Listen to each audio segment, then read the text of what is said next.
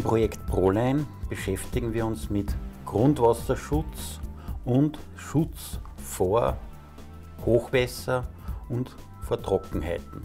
Und zwar, indem wir die Landnutzungen der verschiedenen betrachten und eben ihre Auswirkungen auf den Wasserkreislauf.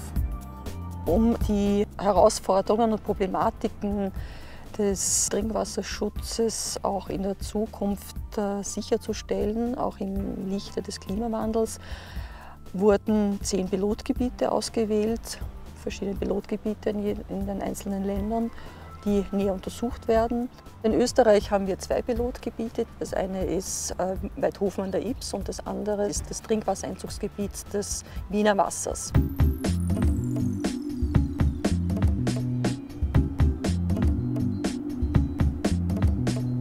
Wir sind auf der Bodenwiesenalm, das ist am östlichen Ausläufer des Schneebergs, der ein Karstgebirge ist. Der Karst zeichnet sich dadurch aus, dass es kaum Oberflächenabfluss gibt. Der Niederschlag versickert eigentlich sofort. Und das ist auch eines der möglichen Probleme mit der Almwirtschaft. Dass die Fäkalien der Kier, der Viecher können unter Umständen in das Grundwasser, in das Karstgrundwasser eindringen. Im Bereich Wiener Wasser äh, ist die Konzentration eher auf die Weidewirtschaft gelegt, wo hier auch versucht wird, ähm, hier nachhaltige Bewirtschaftung zu gewährleisten, damit das Trinkwasser gesichert ist auch in Zukunft. Basierend auf dem können wir dann feststellen, wo wirklich sehr genau auf welchem Platz, auf welchem Fleck wollen wir keine Weidewirtschaft und wo ist es kein Problem dass man das mit der Wasserwirtschaft kombinieren kann. Und es werden auch hier in diesen beiden Pilotgebieten bereits konkrete Maßnahmen gesetzt, auch jetzt im engen Zusammenwirken mit den Betroffenen. Ich bin der Halter für die Viecher seit fünf Jahren. Haben heuer um die 102 Stickel da gehabt. Meine Aufgabe ist halt, schauen, dass die Viecher gesund sind, dass sie Wasser haben, ja, ein bisschen Gewistel machen, dass die, die Wiesen schön sind halt, dass der Zaun in Ordnung ist. Und wie gesagt, Wasser, Wasser ist das Wichtigste. Dass die Wiesen angefressen werden, das ist es um und auf, weil sonst der verwildert ist. Verwildern heißt, da kann man nur stauen, klumpert. Und dadurch wird sie sicher unter Schimmel auch bilden dann ganz untauf, nicht? Weil wenn das sich zulegt und alles nicht und ob das fürs Wasser dann so gut sind, weil ja sicher auch dadurch Keime auch reinkommen und alles nicht. Das was das Viech verhindert, wenn der das alles anfrisst und das alles schön gepflegt ist.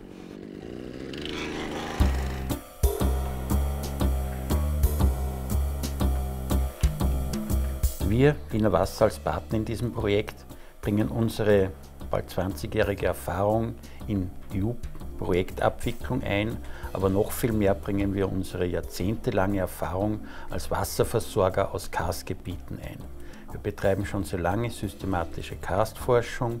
Diese Untersuchungsergebnisse mit unseren Maßnahmen, die wir zum Schutz des Grundwassers betreiben, soll mit den anderen Partnern ausgetauscht werden.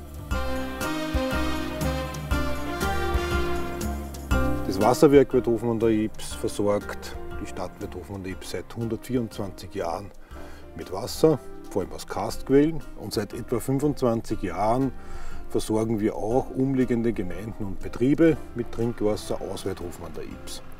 Wir versuchen seit einigen Jahren an Interreg-Projekten, Forschungsprojekten mitzuarbeiten und diese Zusammenhänge zwischen Wald und Wasser. Und hierfür muss man verstehen, dass etwa 80 Prozent des Einzugsgebietes unserer Wasserspender Wald ist, zu erforschen.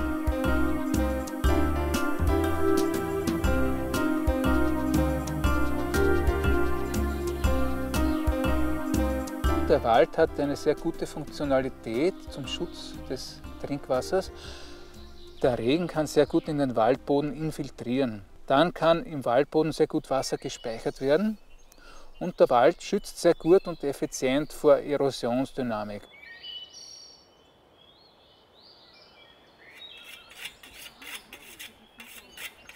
Wichtig ist für uns die Definition von Richtlinien für die Waldbewirtschaftung, um den Trinkwasserressourcenschutz in so einer Form zu entwickeln, dass auch in Zukunft die hohe Qualität des Wassers für Weidhofen an der Ips gewährleistet werden kann. In der Praxis wird das so aussehen, dass wir mit den einzelnen Waldeigentümern sprechen und mit ihnen Verträge abschließen, damit sie den Wald so bewirtschaften, dass, er, dass die Trinkwasserschutzfunktionalität des Waldes erhalten bleibt.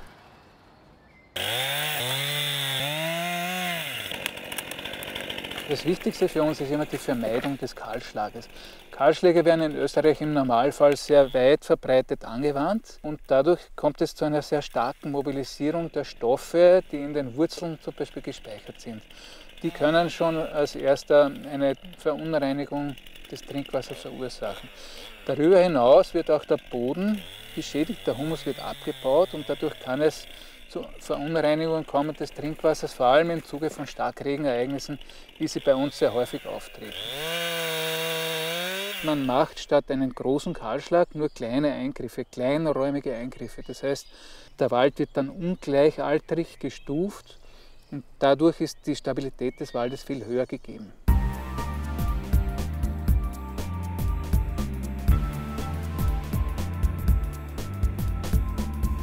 Das Ziel dieses Projektes ist, dass die, eine effiziente Landnutzung entwickelt wird im Sinne des Trinkwasserschutzes. Und wir erwarten uns von den durchgeführten beauftragten Maßnahmen, von den Forschungseinrichtungen ein noch besseres Verständnis über die Zusammenhänge von Grundwasser und Landnutzungen.